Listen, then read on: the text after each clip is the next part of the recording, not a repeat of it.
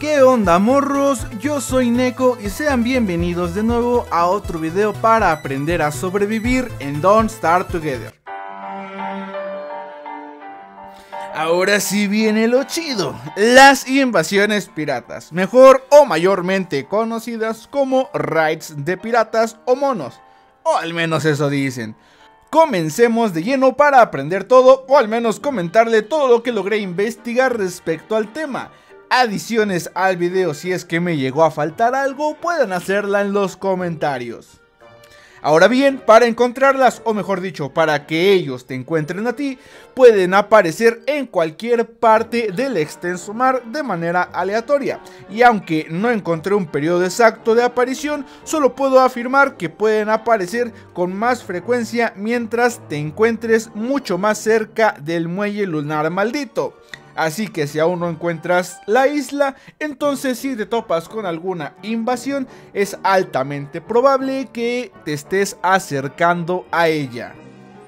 Ten en cuenta que las invasiones pueden aparecer, pero no necesariamente te van a atacar, ya que si no estás en su rango de ataque podrías evitar el enfrentamiento, es poco probable, pero puedes llegar a evitarlas, a veces.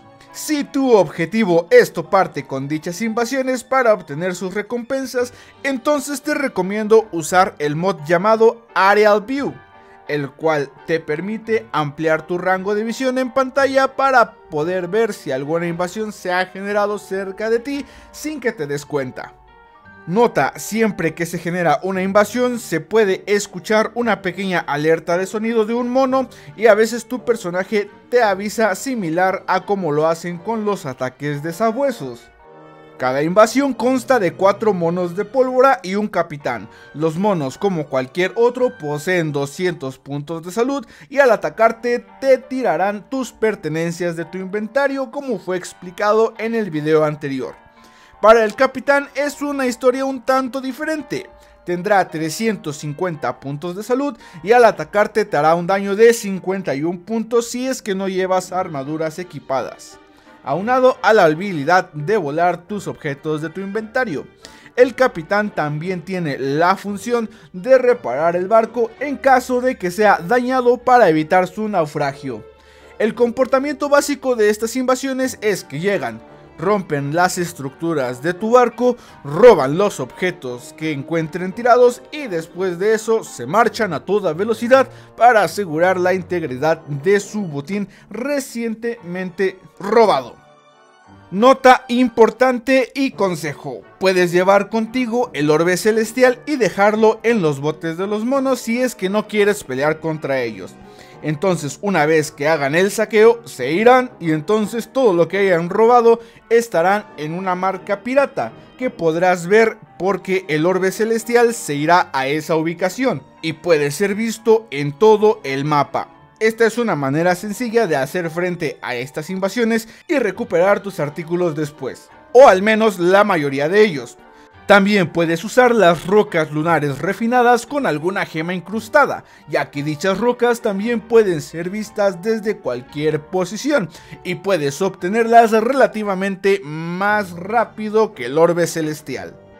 Pasemos a la mejor manera de enfrentarlas, al menos a mi punto de vista, y es usando una flauta de pan. Cuando lleguen los pondrás a todos a dormir usando dicha flauta. Entonces, una vez dormidos, atacaremos primero al capitán, porque es el mono con más puntos de salud y el que tiene las mejores recompensas. Siempre ten en cuenta que al atacarte te harán tirar las cosas de tu inventario, así que recomiendo llevar siempre en tus primeras casillas de inventario algún objeto que se pueda apilar al menos en un máximo de 40 como pasto o ramitas. Así si llevas más armaduras contigo no será lo primero que te saquen del inventario. De cualquier manera, si triunfas en batalla podrás recuperar después esos pastos o esas ramitas. Si sales triunfante del enfrentamiento, entonces de cada mono obtendrás un pedazo pequeño de carne, sus objetos como la banda de la cabeza y su espada de madera, así como un trinket maldito y todos los objetos que hayan llegado a tomar sin permiso.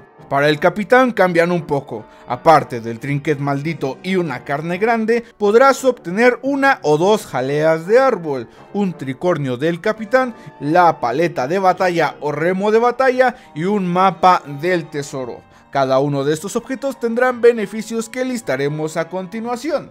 Para la banda de cabeza, al tenerla equipada, harás las acciones en botes como levar anclas e izar velas mucho más rápido de lo normal. Asimismo, hace que incremente los usos de los remos.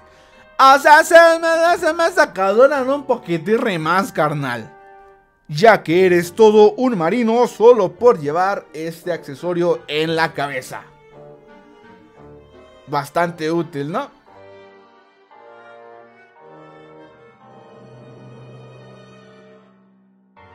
Para el tricornio del capitán hará que mientras lo tengas equipado reducirá el daño que pueda tomar tu bote al impactar contra alguna estructura, ya sea alguna roca en el mar o contra alguna costa si es que llegas a tener un anclaje un poco descuidado, asimismo como otros barcos.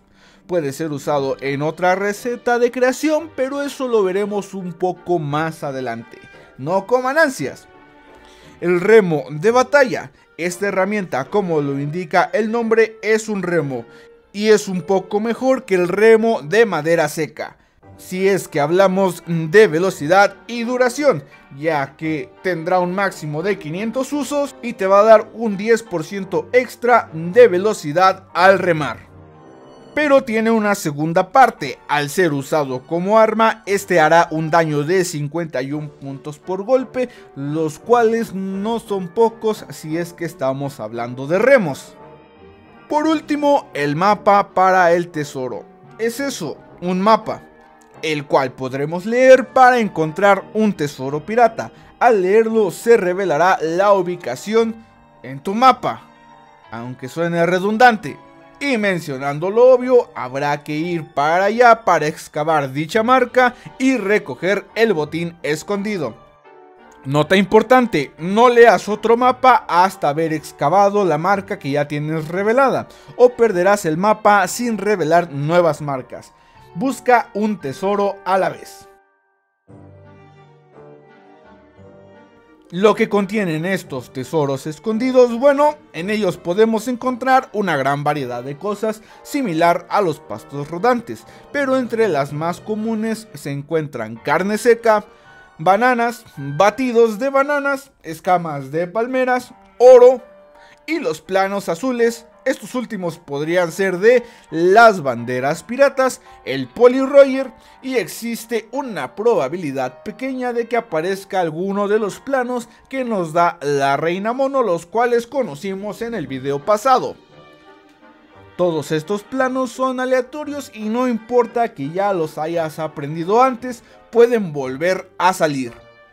Tenemos dos nuevos artículos, las banderas piratas y el Roger para las banderas son simplemente decorativas y no te ayudarán para que piensen que eres aliado de los piratas o algo por el estilo. Hasta quizá te ataquen más fuerte porque pues eres otro pirata y seguramente traes tesoros. Pero para el Poli Roger es un artículo que creas un tricornio de capitán, una pluma de canario y una bandera negra. Al tenerlo equipado aparecerá Poli, un ave que a mi parecer podría ser una guacamaya tal vez la cual recogerá cualquier objeto que se encuentre tirado y te la dará como si se tratara de un amuleto de recolección, pero con una linda ave en lugar de magia oscura de sirenas. Tendrá una duración por tiempo equipado y no por usos, durando hasta 6 días completos, alrededor de 48 minutos equipado. Puede ser remendado con un kit de costura cada uso del kit le repondrá hasta un máximo de 83% de su duración. Así que si lo cuidas y remiendas, podría durarte para siempre. Siempre, siempre, siempre, siempre. Como nota extra, puede ser usado en las cuevas para recoger las cosas que aparecen en los agujeros, como la tulecita, los fragmentos de tulosita e incluso gemas. Como fue mencionado, a mi parecer la mejor manera para enfrentar estas invasiones es usando una flauta de pan, pero si no quieres gastar la tuya, entonces siempre es bueno solo tener una buena arma y armadura para lanzarte de hocico solo contra el mundo para acabar contra estos piratas malvados. Y que no obtengan tu One Piece. Con esto terminamos el video sobre las invasiones de monos piratas y lo que puedes obtener de ellas. Muchas gracias a todos por ver, como siempre nos vemos en el siguiente video. Kaizo Kuoni Orewanaru. Y lo demás ya hace las sábanas. Bye.